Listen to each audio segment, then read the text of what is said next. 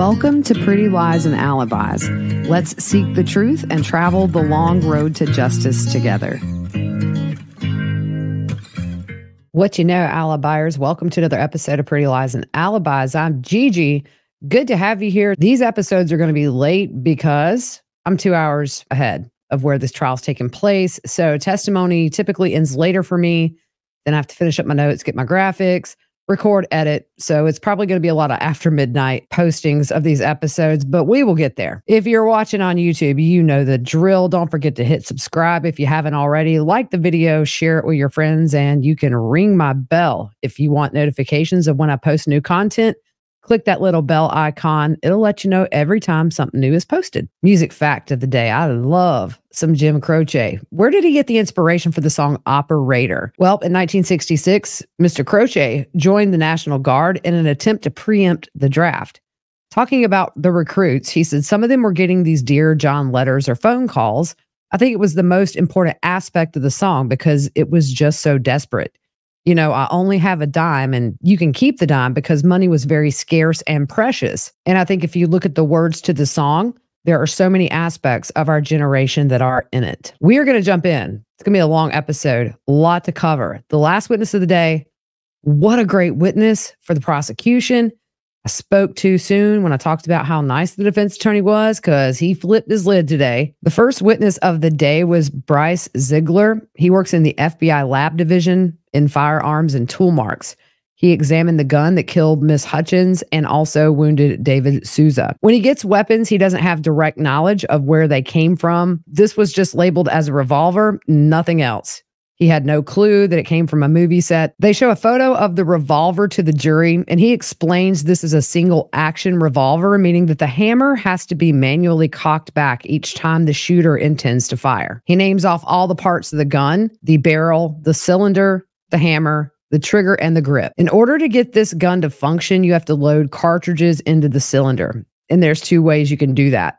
You can open the loading gate, which gives access to the cylinder, you can also remove a pin that's kind of just above the cylinder. So when you remove that pin, the cylinder comes out, then you can load it. Either way you do it, you have to manually pull back that hammer. And the hammer has a firing pin that's fixed to it. So when the hammer falls, it strikes the primer on the projectile, which causes that gun to discharge. There's several safety notches on the hammer by design.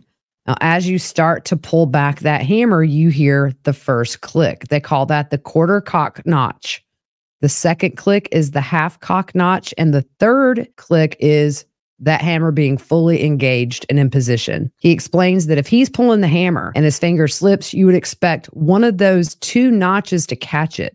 The gun's designed to only fire when that hammer is fully engaged. He explains further about ways to load the gun. He talks about if the gun is fully loaded, when the hammer is resting on a cylinder with a round in it, the firing pin is sitting right on that primer. The gun is from Pietta, which is an Italian company, and they make replicas of older guns. He did a function evaluation to be sure there were no odd modifications he also did microscopic testing and accidental discharge testing. For the function exam, he visually inspects the firearm for safety purposes. After that, he'll load it with ammo from the FBI lab and then test fire the gun. He test fired this gun 12 times. He kept the fire bullet and the cartridge case. Those become secondary evidence to be used when he's doing his microscopic examination on the actual projectile that he was sent. He did microscopic comparisons and he was supplied a fired projectile and also a casing to compare to his known sample that he created doing the test fires. He also examined live rounds, dummy rounds, rounds supplied by Seth Kenney, who owns that prop warehouse, and also the rounds that came from the movie set. He x rayed all of the projectiles. Some of those made sounds when they were shaken, but he x rayed to be sure what was inside and to determine which bullets he needed to disassemble. With the accidental discharge testing, ultimately his question is Can I fire this gun without pulling the trigger? So he simulates the gun being bumped into something to see if it fires. What he did is he takes the gun and gets a rawhide mallet and strikes the gun on six different planes. So he gives an example of a box to compare to the planes.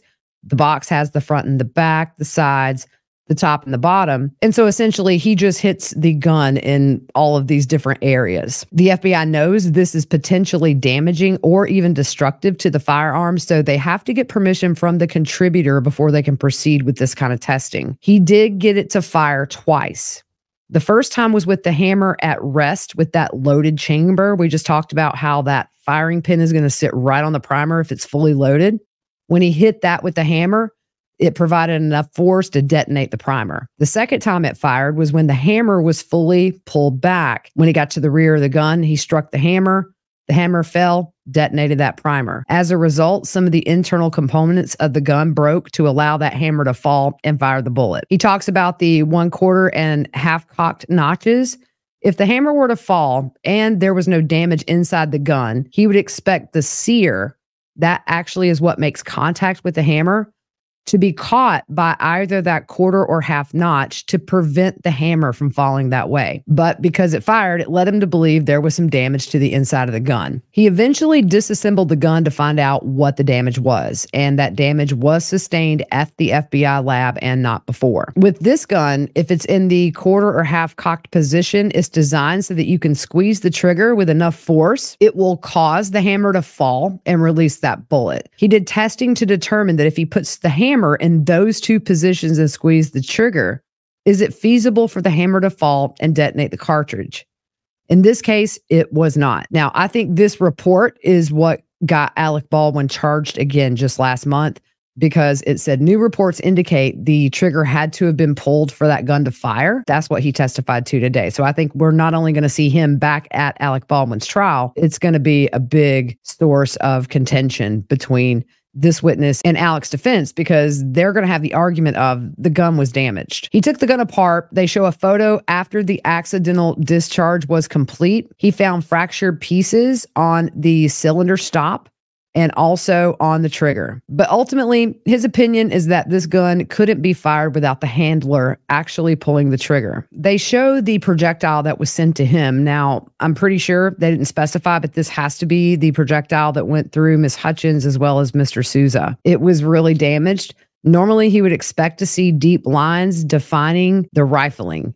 That's when the bullet moves down the barrel of the gun. It puts distinct markings on the casing. This bullet has abrasions, so whatever it came in contact with, it damaged the projectile so badly it took away those rifling marks. He estimated the bullet was between a 44 and 45 caliber, and the reason it's in between is because lead is a softer metal. Most modern bullets have a harder jacket around it, which is usually copper. It protects the lead core as it starts hitting things. The lead is just more susceptible to damage. He had four bullets submitted. He tested the four components to see if they were live bullets. Well, what are the four components? You have the cartridge case, the actual bullet, the primer, and you look to see if the inside of the projectile has gunpowder. All cartridges had the same color primer, shape of the projectile, and the same markings on the head stamp. He did the same series of testing with those four components that we just talked about. The difference in the ammunition that was sent by Seth Kenney and the ones from the set were the shape and the design of the bullet. The head stamps had different brand names, the colors of the primers, the finish of the bullet, and Seth's ammo was lead. He didn't disassemble all the bullets sent in by Seth, but he did disassemble all the suspected live rounds that were sent from the movie set. He goes back to the box that was sent to him from the Rust set and shows they're all dummies but one. You can tell by the shape of the bullet which is different from those dummy rounds. He found four live bullets from the set. Two were on top of the prop cart. One was in that ammo box that was initially stored in the police cruiser when they first got on scene. One was in a holster from inside the church, and unfortunately, the one that was in the gun that hit Miss Hutchins and Mr. Souza. On Cross, they go through his training, and in his first testing, he determined the gun functioned normally. He looked to see if there's bulging in the barrel, cracks in the frame when he did that visual exam. The defense says because you didn't open the revolver before the hammer test, can you say those parts weren't broken before? He says he can't say for sure, but it fired normally. So he would think there was no fractures inside. He's asked with FBI standard operating procedure, did he do a drop test?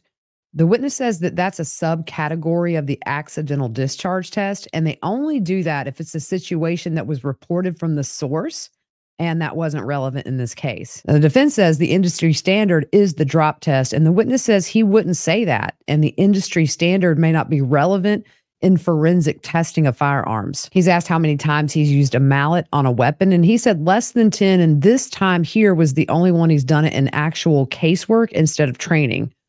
They go back and forth about the mallet test and how they don't know how much force it took to actually break the gun. The accidental discharge test initially wasn't requested until later on when Alec Baldwin said he didn't pull the trigger.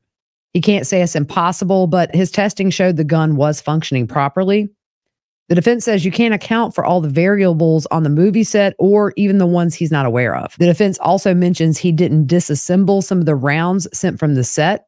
He discussed this with the case agent, and due to the number of rounds they sent, they focused on the ones that they needed to take apart, ones that would be a representative of all the other samples. The defense talks about a request for DNA testing, there was a submission to the FBI lab on December 14th of 2021. They show him a report. He asked if certain standards were submitted in this case. The witness said he saw the report that's not related to his discipline and it doesn't affect his examination. On redirect, when he x-rayed, he could see indicators of the dummy rounds on x-rays like BBs or holes drilled in the side. There was that one round that looked live, but once they disassembled it, it ended up being a dummy round that bearing was stuck in there. The next witness is Shannon Prince. She works at the FBI lab. She's a physical scientist and she works as a forensic examiner in the latent print division. They ask what a latent print is, and that's unintentional prints left from oil and sweat from your hands. She looks at the condition of the evidence, whether it was previously processed in the field, and other variables. That helps her decide which test she'll perform. They show an ammo box of 45 long Colt dummy rounds. She tested that box for prints and found three latent prints on there. She compared those to Hannah, Sarah, who was in props, David Halls, and Alec Baldwin. There were no positive identifications. She was able to exclude Sarah and Alex. Hannah and David were inconclusive. You can also touch an item and not leave a print. You might have gloves on, too much or too little sweat on your hands.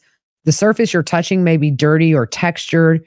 And if something is overhandled, the prints can be wiped away. Also, environmental factors can determine how good a latent print is going to be. She looked at four different casings. There were no suitable latent prints. It's not unusual. The casings go through heat and friction, which can destroy the fingerprint. And also, you have the very small area down the barrel that the bullet travels through. She also worked in the Las Vegas shooting, and in that, she processed over 6,900 pieces of ammo out of all those, she only got 26 prints. That's a 0.38% chance. It's really a low chance to get any print from ammunition. She tested 40 firearms, only 12% had prints.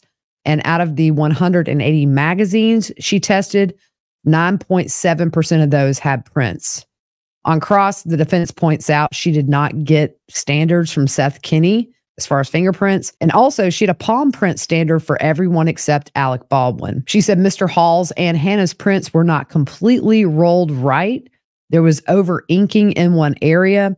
When they're doing fingerprints and they're doing ink prints, it should be from nail to nail, so side to side. She talks about how now, too, they also do digital prints where you put your finger on a scanner and it does it digitally. Hannah's prints was found on one of the boxes some fingers had the comparable area for her to look at. There was no communication with the sheriff's office about the lack of testable prints, but she did put in her report that a new standard would need to be submitted for further comparison. The defense asked if it's likely you can find prints on unfired ammo. She said it's still less than a 1% chance because of the smooth surface and also handling it. He said, even if there's a low chance, you still have a chance of getting a print and of course, she agrees. One box was sent to her from the firearms unit, the previous witness, by the way, and that's kind of backwards.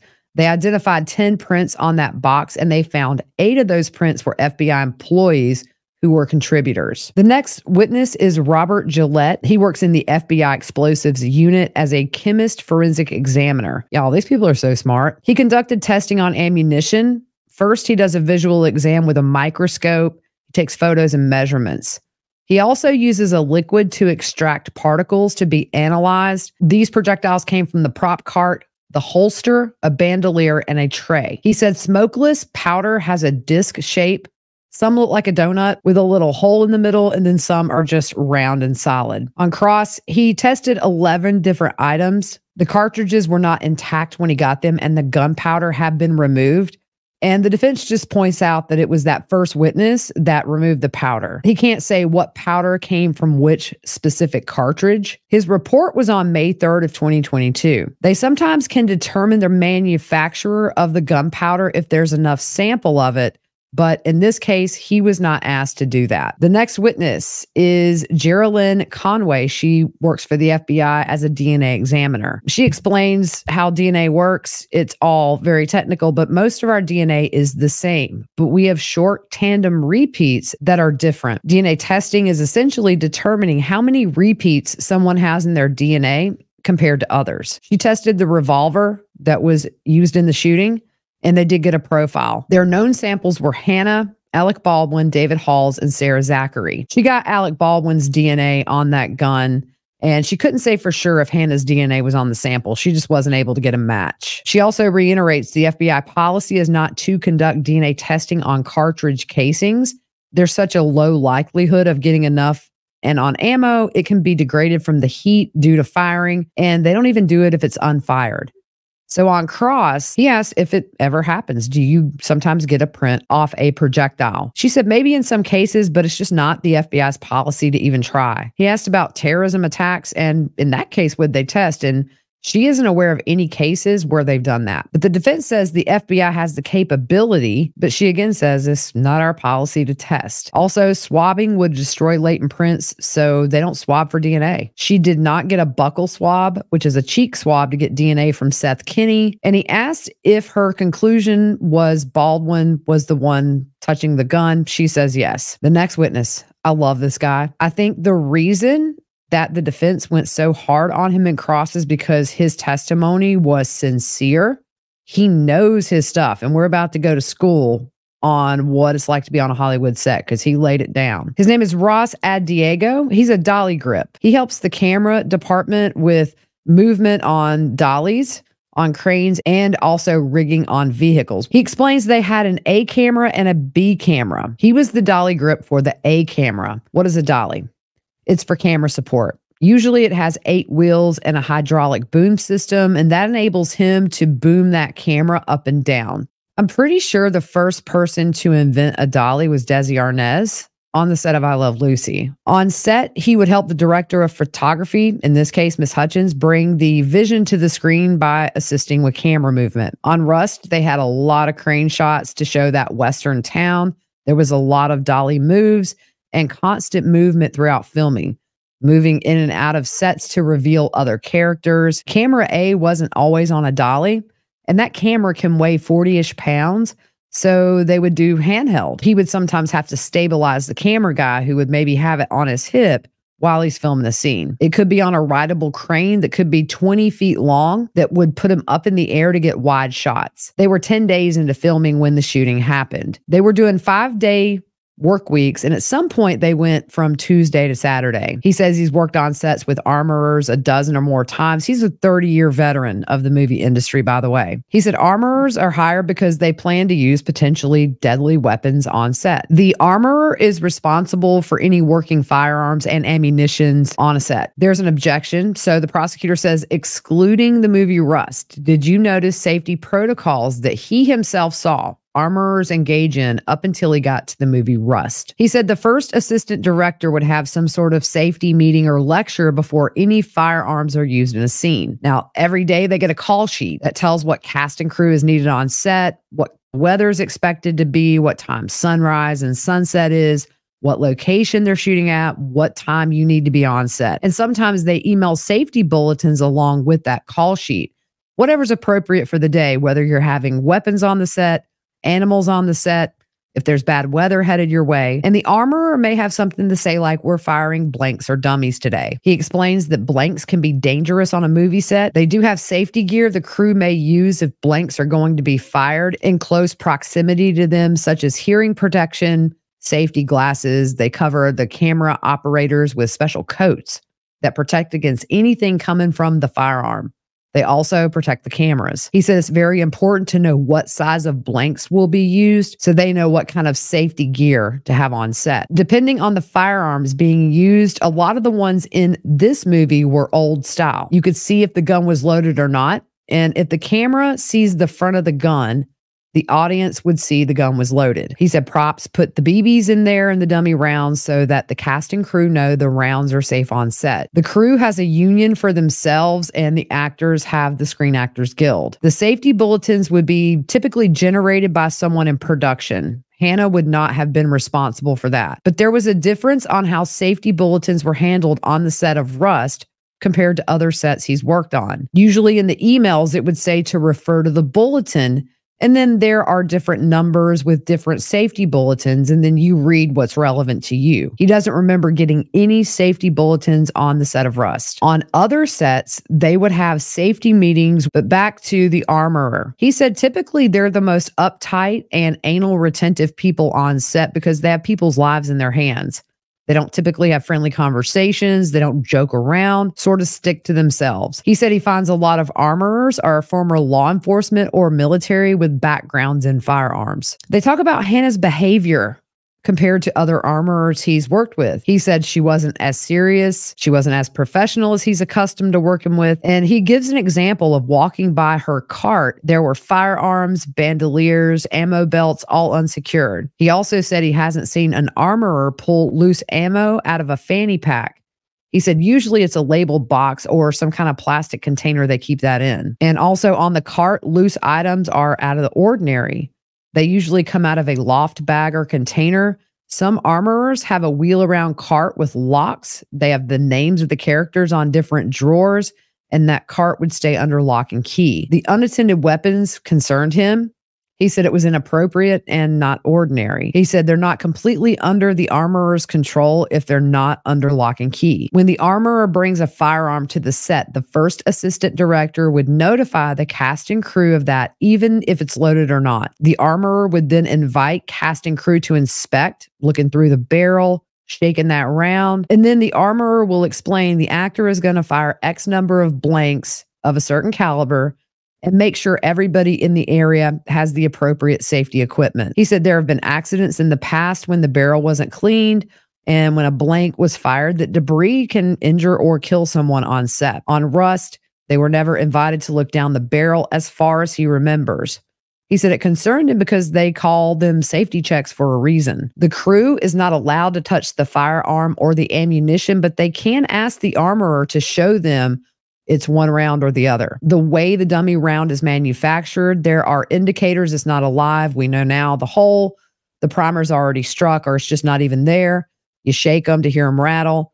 And the armorer would be the one to shake the dummy rounds if a crew member asked to hear that. The gun is usually loaded by the armorer on set in front of casting crew within moments of the safety check, and that's also when the casting crew can inspect it. Some armorers would even put the firearms in the holsters just right before they started filming. He said, as far as he saw, Hannah didn't load the ammunition on set, with the exception of when they were doing resets. A reset is where you call cut and then you turn around and quickly jump right back in and start from the beginning and film that scene again you don't stop the camera. But he said she would essentially be put in a position to have to load in front of the cast and crew in that instance. Both the first assistant director who was in charge of safety and Alec Baldwin were the ones who would have the scene reset, which would force her to reload while on set. He didn't see Hannah take any steps to slow things down if she felt she was being rushed. He said he was present for every scene, but maybe not every take within those 10 days of filming. When they would roll the camera and yell cut, that's a take. They do multiple takes for different reasons. One could be the actor isn't happy with their performance, just to change things up. The lighting isn't right. You could imagine. He said he was there for around 95% or more of the takes on set, though. The armorer is usually never out of eyesight of whatever weapons they're in charge of. And on Rust,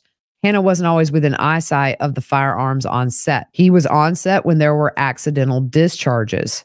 The first time came from Sarah Zachry, the prop master. She was loading or unloading a handgun unannounced to any of the crew or cast, and that firearm discharged. The witness was within feet of that when it happened. He said that she seemed very spooked. And when that firearm discharged, it was very near her foot. It made a bang. He doesn't know if it had a bullet, but it spooked the crew and the horses on set. On other movie sets, he's never seen the prop master loading or unloading the guns. The second discharge happened when they were in a cabin set with Alec's stunt double. There was going to be gunfire in the scene. Hannah was inside the cabin with the double preparing him with his gun. And unannounced to anyone, the gun just discharged. The time between the two accidental discharges were within an hour of one another. Accidental discharges aren't common. He doesn't think he's experienced one on any other set. The armorer is responsible for those accidental discharges and it caused him concern. So he told the first assistant director, Dave Halls, and his second in command on set about those worries. He expressed his frustration that safety was second to the production clock. He said Mr. Halls ignored him and walked away. He then went to Mr. Halls' second second and expressed his anger and frustration and asked this be put on the production report. That's essentially a diary of everything that happens throughout production on the film set. So, the day of the shooting, he was working on set and he got there between six and seven in the morning. When he arrived, he learned the camera department had decided to leave the show due to the safety concerns they had. He said the repercussions of that threw them all into just the state of chaos than they already were. He said at times they were just moving at ludicrous speeds to race the production clock and they had time constraints with a very ambitious schedule. In the film industry, to make your day means that if there's four scenes on the call sheet and they've got a certain time frame to complete it, and they do, they've made their day. Otherwise, if they don't, production has to figure out where to fit those scenes in to be able to finish them at a later time. On the set of Rust, they were restricted by the budget for a certain number of days. He talked to Miss Hutchins about not having enough time they needed to finish the ambitious schedule with only two cameras. But he said they all count on each other when things are moving this fast. The morning of the shooting, they were filming with some kids. They had animals on set. He said they had horses and farm animals. The lawmen rode into town town in pursuit of Alex's character. That day, they also had a number of animal wranglers on set. They finished filming that scene in the morning. The next scene was at the church. The part of the story, he explains what's happening here because we see some clips later on. Alec Baldwin's character, Harland Rust, had been injured in one of the shootouts, so he finds this church to hide out in. He knows he's being pursued and he hopes to get the draw against the lawmen when they enter the church. Prior to lunch, they had filmed pieces of that scene. And so they play clips from the scene. If you're on YouTube, I'm going to play that now. The first clip you see the sound slate is the thing that makes the clapping noise. It's used in editing and it helps keep track of scenes and takes. There's a lot of different things on that clapper. He explains that the letter A is for A camera, which was his camera. Another number represents notes to the script supervisors that they use for editing and writing. There's a time code on there, and depending on how the sound mixer and production want to keep time, it could show the elapsed time of when filming began for the day. It could be the date and the time. His understanding is they were filming Baldwin laying in wait for the lawmen pursuing him and catching up to him. They were going to film an extreme close up of where you see his character contemplating pulling the gun. So he puts his hand in his jacket and starts to draw the firearm. Once they had that piece filmed, they were going to do a turnaround and what that is, they would just film from behind Baldwin to get the lawman coming in. The witness said that Baldwin always wanted to use his hero props, which is the real gun. A cold gun on set means the armorer and the first assistant director have deemed that firearm to be safe. So when you hear clear, you assume that the trigger could be pulled and nothing would happen. He said the morning in the church it was uneventful other than just the chaos of the cameramen and women walking off set. After the takes, they broke for lunch. He said they took about a half hour, maybe a little longer because with lunch, it took a little bit of a van ride to get there. They got back to the set around 2 p.m. They used a steady cam, which is fixed to the camera operator, but the shot wasn't working. So the witness brought the dolly in to give them a more stable platform. And he said it takes a few minutes to switch that out. I've been on some sets. It does. It's nothing's quick. The witness is getting the dolly close to the pew where Baldwin was sitting. He was working with the camera operator and Miss Hutchins. Miss Hutchins was talking to them about what she wanted. And she was starting to prepare for the turnaround shot. The witness was trying to find the shot that best told the story in that moment. That shot was going to be the extreme close up of Baldwin starting to draw his weapon, and his cut would be when the audience sees that gun leave the holster. The turnaround shot again would show the lawman enter the church and then the shootout would begin. When they were blocking this scene, the cameras weren't rolling, so he didn't see the interaction between Hannah and Dave in the church but he could hear her say the firearm had been checked before lunch and locked up during lunch. The first assistant director called out cold gun, meaning safe, not going to fire. And the witness returned to helping Miss Hutchins and someone named Reed find that shot. The witness wasn't worried about Hannah not checking since lunch. He said typically it's checked when it's brought on set, even if it had been checked before. The gun was then in Mr. Baldwin's holster on his left side. He didn't see Hannah in the church after lunch. The witness and Reid were looking over Baldwin's right elbow or maybe his bicep, trying to find an angle where they could see his hand transition from his lap to under his coat where that holster was. It would show the gun sliding out of the holster, and the audience would then realize that Rust is about to shoot the lawman. They had one camera in the church, and it was within a foot of Alec Baldwin. Miss Hutchins was directly in front of Baldwin talking to her gaffer, Serge. A gaffer is the head of the lighting department. Miss Hutchins and her gaffer were standing behind a pew and they had their lighting set up, but they were discussing what they were going to do in the scene. The witness says Ms. Hutchins and Serge often talk in Russian or Ukrainian since they're both natives, so he really wasn't sure what they were discussing. He explains the director would sometimes be watching from Video Village. We talked about that yesterday. It's where you can watch the filming remotely without being on set. He said some directors prefer to be in Video Village and some prefer to be right there in the middle of it. Once they get everything set up, the scene starts, and Baldwin is sitting on a pew with his head down. You see the top of his cowboy hat.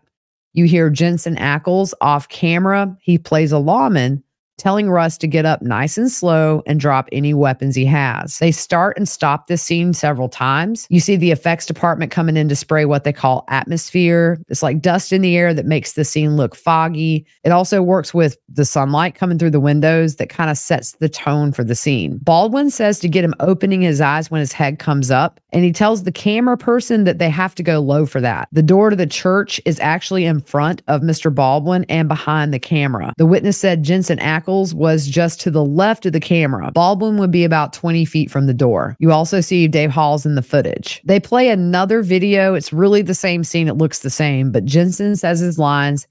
Baldwin stops and says again, ready. Jensen repeats his line. Baldwin says one more. They start over. There's some talk among the crew, and they tell Baldwin with this one to draw the gun and look up. Baldwin asks, Does he look at the right or left camera? The crew says left. Baldwin says, So whip it out. And the crew member says, yeah. And they call action. Jensen says his lines again, and then there's a long pause. Baldwin pulls the gun from the holster quickly and points it straight ahead. And they do it again. Someone at the end of the second take says, nice. For blocking and the extreme close up, the witness wasn't expecting him to pull the gun all the way out. He thought it was just to reveal the weapon coming out of the holster to the camera. There were around 12 crew members in the church during blocking. After that last clip, the witness and Reid are trying to find the camera angle that Joel was happy with. Miss Hutchins and Serge were talking about changing the lighting for that turnaround shot. And the witness's boss, who was working on a bounce card, that's used to reflect sunlight coming through the window back onto Baldwin. So the director and Baldwin were talking about the next shot. Alec drew the gun to see what his reaction should be for the director twice. That second time that gun went off. He said their ears were ringing. There was panic. The first person he looked at was Miss Hutchins, who clearly was injured. He said she quickly went flush and was holding her right side. And he also had Joel screaming from his injury to his shoulder. The witness went to Joel because he was closest to him. Reid and Serge moved a pew out of the way so that they could tend to Miss Hutchins. Now, the witness yelled out, If you can't help, get the F out of here. He said someone called 911. He could hear them talking. He was trying to calm Joel down and tell him that they would get through this because he said he didn't know what else to do. The medic and the best boy electric, which is Serge's second in command, they came into the church and someone named Matt had combat medical training and also came in to assist the set medic. He didn't see Hannah in the church after the gun went off. Baldwin sat down in the same pew that he was filming in. when the witness said, If you can't help, get out. At some point, he looked over and Baldwin was gone. He said Joel was wearing a thick hoodie and a t shirt underneath, and then he started to see the blood come through and he could see where the injury was. He said he was in pain, but asking how Miss Hutchins was. And he was also coming to the realization he had just been shot. The witness started pulling back his hoodie, revealing that gunshot wound in his shoulder. The witness had blood on his hands he helped roll Joel over. They cut his shirt off, and the witness saw a bullet just under the skin of the right shoulder blade.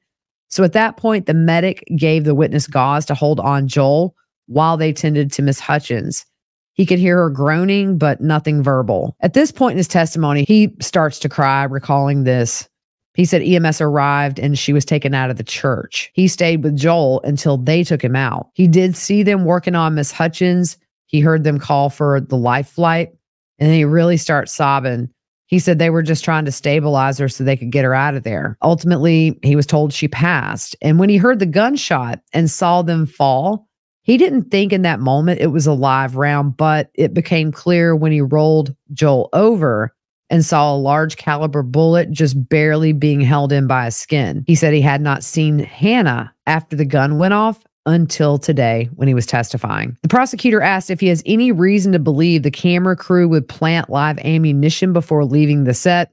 There was an objection and a sidebar. He rephrases that to disgruntled crew members he said no, he had no reason to believe anybody would do that. The person he believed that loaded that gun was Hannah, and he's asked to identify her in court, which he does. He said he heard no one tell Hannah to leave the church that day. One thing I did forget to tell you Hannah's attorney, Todd Bullion, he filed a motion for withdrawal. The judge denied that he could leave the case. And also, he shall refrain from communicating directly with Hannah Gutierrez Reed as she requested. There was a new female attorney there today, and I did not see Mr. Bullion. So maybe they just agreed you cannot be there. I didn't see him. Maybe he was there, but it's very interesting when you have a defendant that doesn't even want her defense attorney talking to her. I think that was revealing today of maybe this girl's difficult to work with. I'm not judging, I'm just saying that to request that your attorney, who I thought did a pretty good job for her the last couple of days, not talk to her, you have to wonder what happened. But let's go to cross because y'all, it got heated. It got uncomfortable. Oh, it was bad. And I'm going to tell you, yesterday I was singing this defense attorney's praises, saying that He's very effective while being very gentle. Well, that changed today. He went to the dark side and he was very aggressive on cross. And I think the reason, and this is just my theory, and it's probably like not even worth two cents, but I think the witness was so effective in his testimony he came across as super knowledgeable about the movie industry. This guy's got over 100 credits to his name, 30 years. This isn't his first rodeo. And I think that the emotion that he displayed to the jury when he cried, which was kind of off and on for a little bit of time when recalling the actual shooting, uh, that's going to tickle the heartstrings of this jury and they're going to feel sympathetic for him because it, it's clear those memories were painful to recall. Pretty much the only thing that the defense attorney could do was bring up the fact that this man has sued Rust Productions and Alec Baldwin and then point to things in the lawsuit that he did not say about Hannah that he said on the stand today. But y'all, him and the prosecutor, somebody said they were like an old married couple, and it was so true. They were bickering by the end, and the judge had to get in the middle. That's how dirty it got. But on Cross. He's asked if the other armorers that he's worked with on sets were males. And he says, You're not used to seeing a young 24 year old armorer, are you? The witness says he's not used to seeing a young 24 year old armorer, period. The defense says a female. And the witness says that doesn't play into that for him. Male, female, doesn't matter. The defense asks if he's suing Rust Productions and Alec Baldwin, and he says yes. The lawsuit is pending. The defense points out his attorney is in the courtroom and has been watching him on the stand. This is where it gets a little uncomfortable. The defense says, but you haven't sued Hannah. The witness says, you would have to ask my lawyer. The defense asks if he's read his own lawsuit, and he says he's perused it. The defense says just one page, or or did you just tell your lawyers knock yourself out? The witness says, I think I've got past the first page, but I'm not in your industry. I don't understand what a lot of that is. And he trusts his lawyer. The defense says it seems you could have read your lawsuit. Well, there's an objection. The defense says he has a totally different story in his lawsuit than what he's testified to today. He asked if he approved that lawsuit. He's suing for punitive damages, loss of enjoyment of life, medical and non medical expenses. You claim you have a blast injury. He said he's talked to his physician about what happened that day. The defense asked if he's had any tests or x rays. The witness says he's talked to his physician and his doctor made decisions. The defense asked what that was, and the witness is like, I'm not discussing my medical treatment with you. He said, You're here to tell the jury all about Hannah, but in your lawsuit, you say Rust Productions and Baldwin cut corners and endangered the cast and crew. He said yes. You said in your lawsuit, hiring two people to manage the budget was not a good idea because of cost cutting issues on the prior set. And David Halls also had prior safety issues and didn't manage that set safely.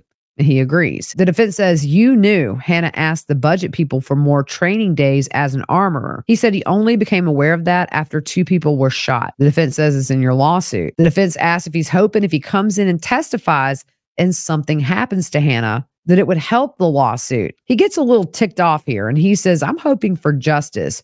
Two people were shot on that film set. He said it hasn't only affected him, but also the entire film industry. The defense says your lawsuit didn't say justice, it says money. The state says the defense needs to let the witness answer the questions and also points out he's being argumentative. The defense says, but you're suing for money. He said he asked his attorney to bring justice. The defense points out the safety bulletins weren't posted by first assistant director Halls.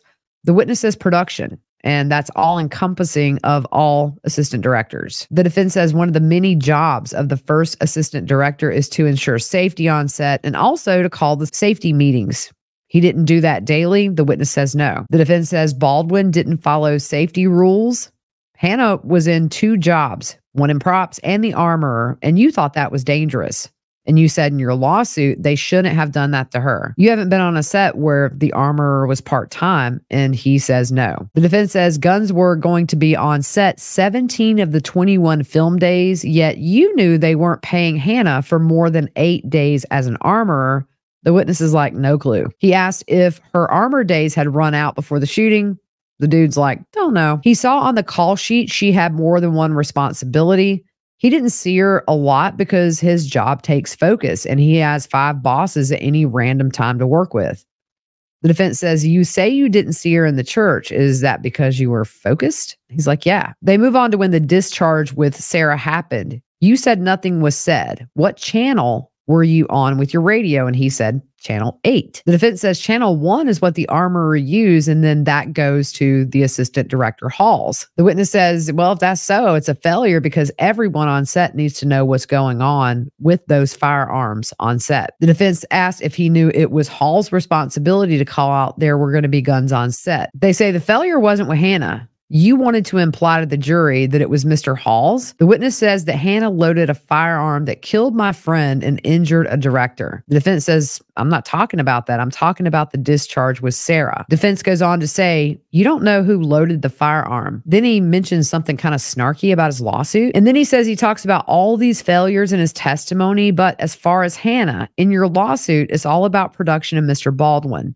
So the defense reads from it and says the reason that Hannah was hired was for a cheap and quick production, hire her cheaper, and make her do two jobs. You heard Baldwin rushing people, telling them to move, move, move.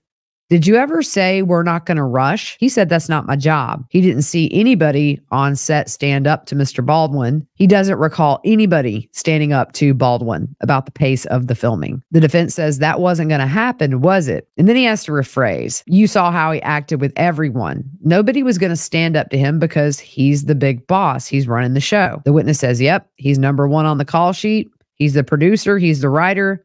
And the defense asks, Would you see a 24 year old stand up to him?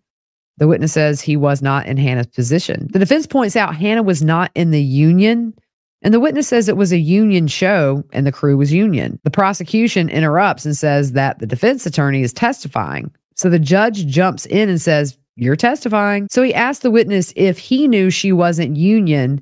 He said he learned after. The defense says, with you having 100 credits to your name, and you know the union has your back if you stand up, right? The witness says, on a union movie, anybody can raise concerns. The defense asked if he thought he could have had production stopped if he saw all these safety issues. He said he could have offered his opinion, but he isn't sure if it would have stopped anything. The defense says, you went to Halls in his second second because you were concerned about safety. He said, yeah, and it needed to be on the daily production report, which is read by producers and the insurance company over the film. He says, You didn't see any change after you complained? He said, Well, I wouldn't have. And they would be on channel one having that conversation amongst themselves. He fired back. He did all right, y'all. He said he didn't see any action taken or anything change. The defense says on the day of the shooting, you didn't see Hannah in the church, but you didn't have concerns after the firearm came in the church because the armorer would check that. He said he didn't see Sarah in the church either. Witnesses found out Sarah was loading firearms after the discharge. The defense says Sarah was Hannah's boss as props master. Props is in charge of ammo, and the witness agrees. The defense says, Well, you said earlier guns and ammo are the armorers, but now you say it's props. The witness says live ammo is the armorers, dummies that go onto belts and bandoliers and things like that are props. And the defense says, well, you say live ammo shouldn't be on a set. The witness says he's talking about blanks. They can go bang and hurt somebody. The defense says, but blanks shoot powder. The defense says you've never been an armorer or props. So when you make opinions about what you think, you really have no idea. It's just what you've seen. The witness says, it's what I've learned after 30 years in this industry. He asked if he knew it took over a week to get the props cart on set. The witness says, I'm not in the props department. He just kind of turned around something that the defense attorney just said. I love it. The defense says, You don't know if the firearms on the cart were real or plastic.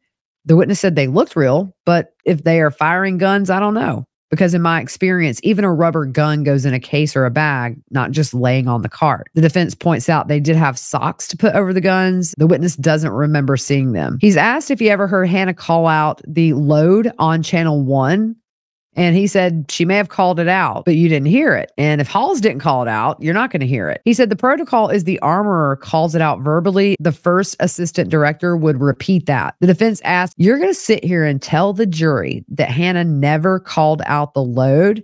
Well, the state objects and says this isn't something he testified to. The judge sustains that. He's asked if he ever reported this to anyone else since he was so concerned. He said Joel and Miss Hutchins talked about safety issues before she was shot. The defense says, I didn't ask about that. So the witness just keeps going. He notified Local 80. That was the union that represented him while he was there. He's asked when he contacted Local 80. The witness says you would have to contact Local 80 and ask them. It was early on in the filming. The defense says, I'm asking you. I'm not contacting Local 80. The state jumps up says he's already indicated he doesn't remember. The defense asks the judge if he can do his cross exam, and the prosecutor says, Well, yeah, if you do it properly. He says, I am doing it properly. The judge says to ask the question about the date. He doesn't remember the date, but he thinks it was the first week in production. The defense says that's before any accidental discharges, and he doesn't recall if it was before or after. And he talked to them more than once during production.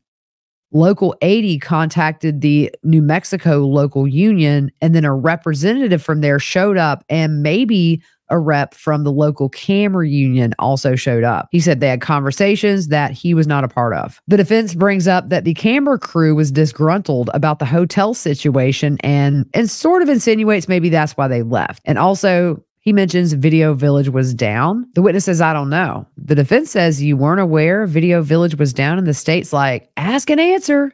The judge tells him to approach. When they get back and move on, the defense attorney says, You say Baldwin wanted to use the real revolver. He said his understanding was that's how he liked to perform. Baldwin always wanted to roll when he was ready. He would have props in his jacket ready to go. The defense says everyone had to be ready when he was ready, and the witness agrees. They agreed on something, y'all. The defense asked if the scene didn't require the draw. He said his understanding was the extreme close up was to show Baldwin's hand going into his jacket and then revealing the gun, but not to point the gun. On redirect, they ask, Are you the only one suing Rust Productions and Baldwin? No. You say you've lost the enjoyment of your life. Is that right? He gets very teary eyed and says, Yes. He was subpoenaed to be there. And then the prosecution says, Did anyone force Hannah to take the job as an armorer and a props assistant? He said no. Did anyone force her to keep working on set when it was chaotic? He said no. She asked, Is Mr. Baldwin on trial? The witness says it appears he is. Then he says, no, he's not. This is not the trial of the Rust Production Company or Mr. Halls. He says, no. Did Hannah show the dummy rounds to cast and crew as protocol or shake the rounds? He said, not while he was on set. She asked, if Hannah had shown the dummy rounds to the cast and crew, what do you think would have happened? Of course, the defense objects. The judge allows the question. He said, if she rattled the dummies and showed it to the cast and crew, you think that live round would have been discovered? The witness says yes. He said if they had looked at the ammo, they would have known if it was a live round or a dummy round. The prosecutor said Hannah decided not to show the dummies before handing the gun to cast and crew. Well, the defense gets up. She asks, Is it your understanding Hannah loaded that gun? Yes. In your opinion, would Miss Hutchins be alive today if Hannah hadn't put a live round in the gun? Big objection. That was sustained. Who is the person on set who is in charge of firearms? There's an objection that's sustained. The last question Do you know why your civil lawsuit doesn't include Hannah? He said, You would have to ask my attorney. She asked if he testified today to further his civil suit. He said he testified today to bring justice for the death of his friend. What a great witness. It was like being in a master class on movie sets. I mean, you do a job for 30 years, you know, like the back of your hand. And I'm going to tell you, these are hard working people on these sets, cast and crew both. Long days, exhausting days, but man, they get it done. And lucky us because we get good stuff to watch. But every day is just like such a reminder. This was avoidable, never should have happened. That's it for today. Tomorrow, we'll pick up with day four. We'll see if everybody calms down tonight. People need to go home, take a chill pill or something because it was heated up in there. But the witness held his ground on cross. I was all proud of him because he just seemed very genuine. So I hope he finds his peace. All right, that's it. We'll see you tomorrow. Have a good rest of your evening.